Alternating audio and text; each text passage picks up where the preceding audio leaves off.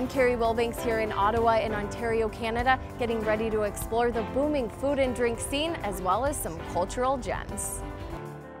One of the best ways to experience the culture and food of the city is on a culinary tour with C'est Bon Epicurean Adventures.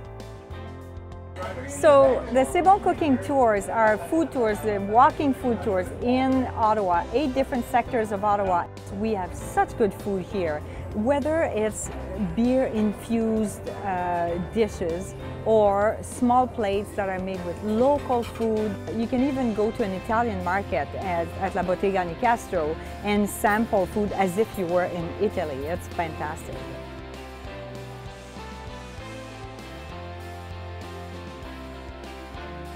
So La Bottega is an Italian market. Um, in this Italian market, you can find everything from uh, Italian coffee, pastas, tomato sauces, olive oils, balsamic vinegars, chocolate. We have a sandwich counter, a salumeria where you can find the best prosciuttos from all over Italy.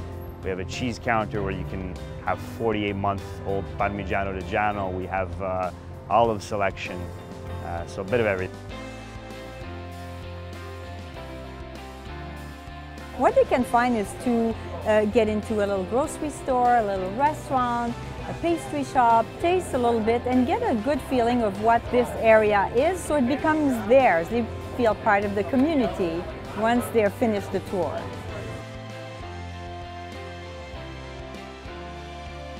Whether you hop on a beer tour or just order a local brew at a restaurant in town, you will see why the beer scene here in Ottawa is on the rise. The craft beer scene in Ottawa right now is explosive. We've got new breweries opening up about four or five a year. Well, we've got a brand new one that's supposed to open up in about two weeks, three weeks, and two more at least planned before the end of the year. A Brew Donkey is an Ottawa brewery tour operator. We help bring people to local craft breweries in town. We help them fall in love with craft breweries.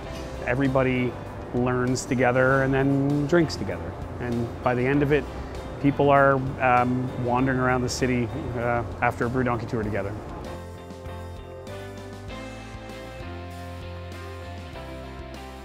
For a dining experience, check out Le Cordon Bleu. So we are here at the Cordon Bleu uh, in Ottawa. So here it's a very unique uh, facility. First, it's an old mansion, so we have really like nice little rooms. But also we have the school also, part of this building. We have the restaurant Signature, uh, which is a bit the showcase, the vitrine of Le Cordon Bleu in Ottawa. It's uh, people like dine every day, like can come at night, lunch, and uh, enjoy really like a, a really specific meal. It's an experience. I mean, being in here, it's like being in an old home, and that's what I love about it. It's not a typical restaurant with loud music playing or anything. Like, it feels like I'm eating in my old home.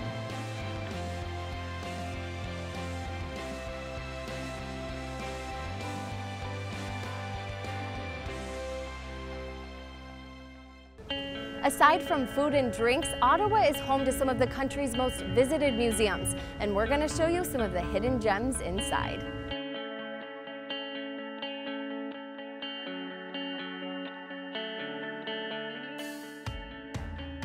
So here at the National Gallery of Canada in the heart of downtown Ottawa at the edge of the Byward Market, um, we have lots of Canadian art so that you can see as well as European, international artworks, uh, American, and we have a contemporary gallery as well. We have both Canadian and uh, international in the contemporary galleries. And uh, we have outdoor spaces for sculptures as well as indoor paintings and sculptures and installations. The architecture uh, it was designed by uh, Moshe Safdie, who's a Quebec resident, and um, he designed it to really reflect the space around us, the landscape around us, and uh, it allows us to experience it as well while we're in the building.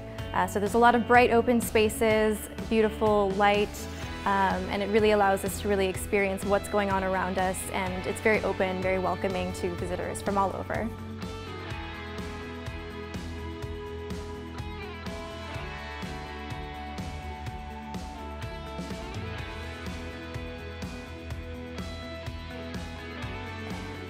So here at the Canadian War Museum, we also have a lot of hidden gems. Memorial Hall is a very different room from the rest of the museum. It's a very different atmosphere.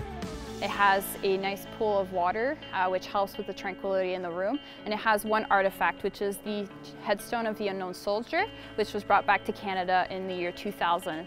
This is the original gravestone from Vimy Ridge, where this unknown soldier originally died.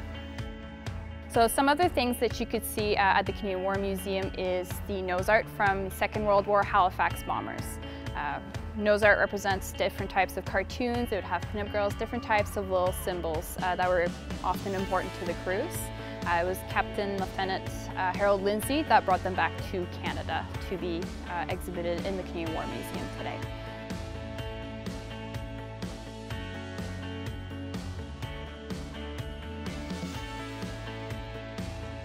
Uh, from the museum is very easy to see the Peace Tower, especially in Regeneration Hall, where you can be faced exactly perfectly with the Peace Tower. Uh, so either at the beginning or at the end of the visit, you can visit the museum's rooftop, uh, which is a green roof, uh, which really brings back the theme of regeneration, uh, which is a theme that has been across the museum.